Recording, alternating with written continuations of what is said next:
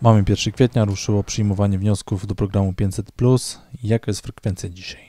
Do godziny 12 mam zarejestrowanych, to co zdążyłam zarejestrować, 305 wniosków.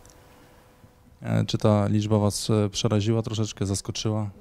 Dlatego, że już my jesteśmy przyzwyczajeni, że jak się zaczyna okres zasiłkowy y, i składanie wniosków na zasiłki rodzinne, więc też taka liczba osób się zgłasza w pierwszych dniach.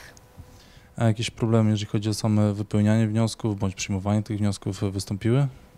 Problemów w przyjmowaniu nie ma, dlatego że mamy tutaj na, na ulicy Polnej utwo- utworzone trzy punkty.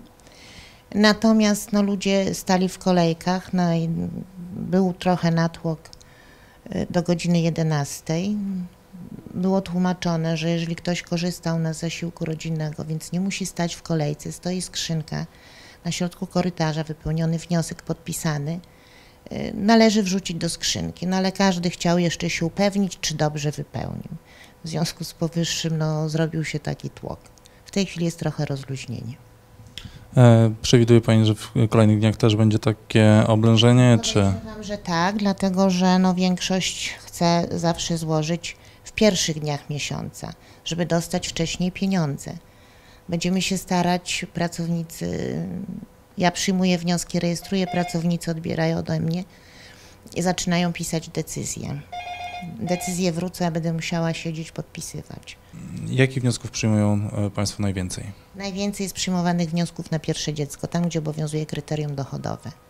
Jest mniej wniosków y, na drugie i następne dzieci, bo ja mam y, 32, 37 wniosków na drugie i kolejne dziecko. Długo już Pani czeka w kolejce na złożenie wniosku? Około godzinki. Około godzinki.